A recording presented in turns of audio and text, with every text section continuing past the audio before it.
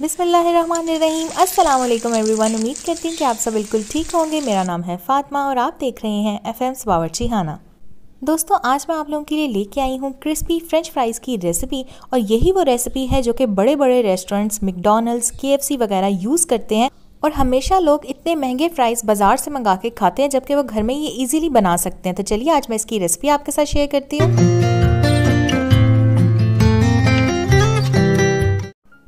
Restaurant style fries बनाने के लिए आपको चाहिए एक किलो आलू। आलू लें, उनको छीलें उनको कट करें, फिर उनको पानी से अच्छे तरीके से वॉश कर लें, ताकि जितनी भी धूल मिट्टी है वो इनमें से निकल जाए इजीली रेसिपी को आपने मुकम्मल वॉच करना है। आज सारी टिप्स एंड ट्रिक्स शेयर करूँगी आपके साथ और साथ ही आपको बताऊँगी कि कैसे आप ये फ्राइज़ बना के स्टोर कर सकते हैं और पूरा एक साल तक इंजॉय कर सकते हैं।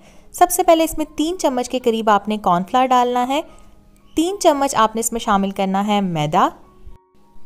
और ये दो इंग्रेडिएंट्स आपने डालने हैं, मैदा और कॉर्नफ्लोर ये डालने के बाद आपने इनको मिक्स करना है। इतने अच्छे तरीके से यहाँ पे आपने इनको मिक्स करना है कि हर फ्राइज़ के ऊपर खुशका लग जाए, यानी कि मैदा और कॉर्नफ्लोर अच्छे से लग जाए। तो ये मिक्स हो चुके हैं यहाँ पे। अब नेक्स्ट स्टेप क्या है, वो मैं आपको बताती हूँ। यहाँ पे कढ़ाई में मैंने ले लिया है ऑयल ऑयल को हमने हीटअप कर लेना है, फिर इसमें शामिल करने हैं फ्राइज़ अब यहाँ पे जो चीज़ आपने नोट करनी है, वो है टाइम इस स्टेज पे आपने आलूओं को सिर्फ़ तीन मिनट के लिए पकाना है। इससे ज़्यादा आपने फ्राइज़ को कुक नहीं करना है, ठीक है? तीन मिनट के बाद आपने इनको निकाल लेना है पेपर टावल या टिश्यू पेपर के ऊपर और निकाल के इनको कम्प्लीटली आपने ठंडा कर लेना है।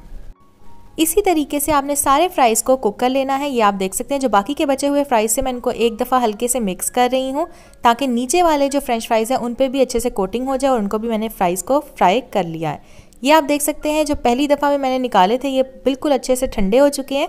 तो अब आपने इनको स्टोर कैसे करना है? आपने इस तरीके का जिप लॉक बैग लेना है ईजिली मार्केट में मिल जाते हैं। इनके अंदर आपने ये फ्रेंच फ्राइज़ डालने हैं। डालने के बाद आपने इनको बंद करना है और बंद करने के बाद आपने इनको रख देना है फ्रीज़र के अंदर। फ्रीज़र में आप इसको तकरीबन आठ से दस महीने के लिए रख सकते हैं और जब भी आपका दिल करे, आप इनको निकालें फ्रीज़र से, इनको फ्राई करें और इन्जॉय करें। रेसिपी अभी मुकम्मल नहीं हुई है अभी भी एक टिप बाकी है जिसकी मदद से आपके फ्राइज़ बहुत ज़्यादा क्रिस्पी बनेंगे। तो सारे फ्राइज़ को मैंने इस तरीके से तीन मिनट के लिए कुक कर लिया है। अब इनको भी मैं फ्रीज़ कर दूँगी। सो so, अब आपने सेम कढ़ाई के अंदर सेम ऑयल में आपने डाल देने हैं फ्रोज़न फ्राइज़ जो कि मैंने फ्रीज़ किए हुए रखे थे वही मैंने निकाले और उनको मैंने फ्राई कर लिया। ये आप देख सकते हैं क्रिस्पी गोल्डन ब्राउन कलर आने तक आपने इनको फ्राई करना है बहुत ज़्यादा डार्क कलर आपने इनको नहीं देना है। सो हमारे क्रिस्पी फ्राइज़ बन के तैयार हो चुके हैं। आप चाहे तो इनके ऊपर थोड़ा सा चाट मसाला स्प्रिंकल कर दें, चाहे तो नमक स्प्रिंकल कर दें। कुछ रेस्टोरेंट्स ने ऊपर इसके नमक भी स्प्रिंकल किया होता है और इसको केचप या मेयो के साथ सर्व करें।